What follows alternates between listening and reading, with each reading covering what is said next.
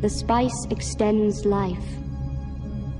The spice expands consciousness.